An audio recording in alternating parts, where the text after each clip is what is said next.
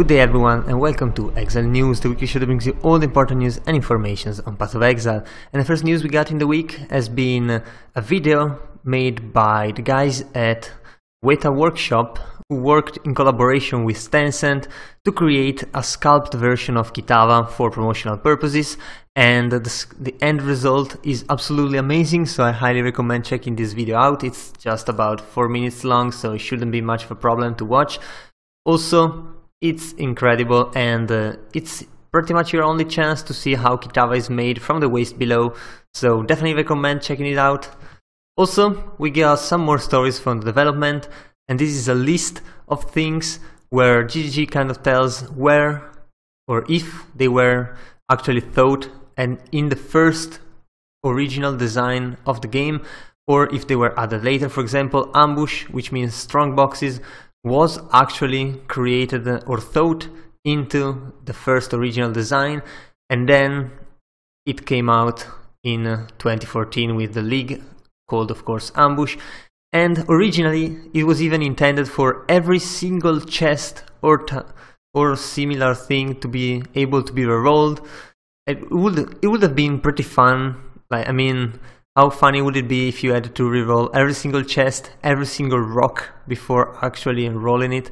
That would be pretty interesting, but still, there's a lot of things here, so definitely check those out if you are interested in a bit of past and in a bit of um, kind of game design or how it was thought and how it changed. And we also got some competition highlights from the talent competition and there's some pretty damn good ones. There's videos there's music there's artwork of course. My personal favorite so far is definitely this pixel art over here. It's absolutely amazing. But yeah if you are actually a fan of fan art definitely check the original thread out as well as this thread here because they are definitely full of very interesting submissions. Also there's still some time or enough time at least to actually submit something if you haven't yet, so definitely do that.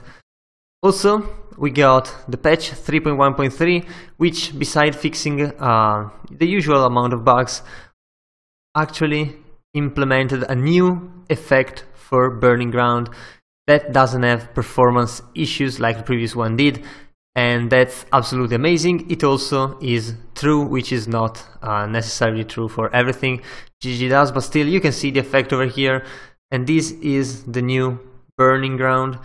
I personally like it a lot. Uh, it definitely feels uh, way more in the game than the previous one. It feels it's it's just better. I feel, and well, GG said it's not perfect yet, but I definitely like it more. Also, I tried it in the game and the performances are definitely much much better than they used to be. Actually, they are not hindered at all by the new Burning Ground, so I hope this ground remains. Also, it's really easy to see the borders of the Burning Ground, so definitely pretty good uh, improvement here, and we'll have to see how that goes. Also for the Shock Ground and Ice Ground, which uh, GGG is actually thinking of changing as well, because every time uh, they can actually improve the game performance wise that's actually a very very big improvement and this one is definitely a good one as well. We also got a new stash tab.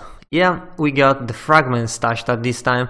As you can see from the picture there's a very small video but you can just watch the picture and it tells you everything. So pretty much you can stop you can stack up to 5000 of the normal Atziri fragments the uber Atziri fragments divine vessels Breachstones and a hundred of their smaller ones and when they got when they get to 100 they actually turn into a breachstone.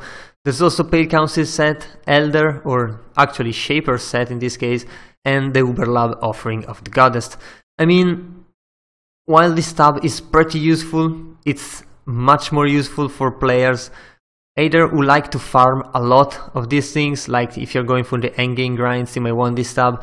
Also, if you are in standard, yeah, you probably definitely want this tab because definitely fragments are going to held up a lot of space in your stash tabs if you're playing something like standard where you just accumulate a lot and a lot and a lot and you gradually accumulate more than you actually can use.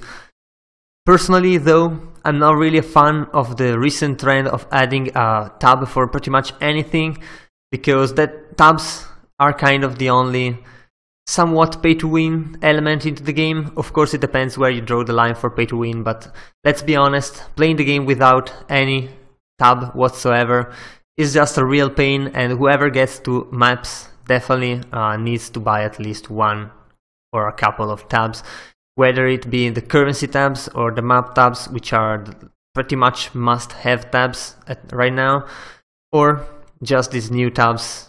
And well you can do without this one definitely but it's a huge improvement into the game and in your tab management. So definitely uh, a tab worth buying.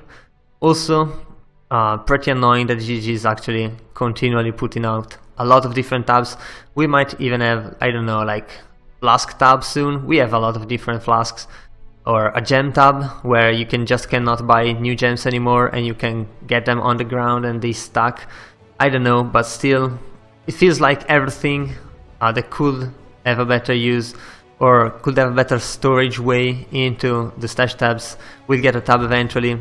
And yeah, I guess that was all for this week, so if you enjoyed the video leave a like and a comment down below. Also, if you want to remain updated every week, be sure to subscribe to my channel.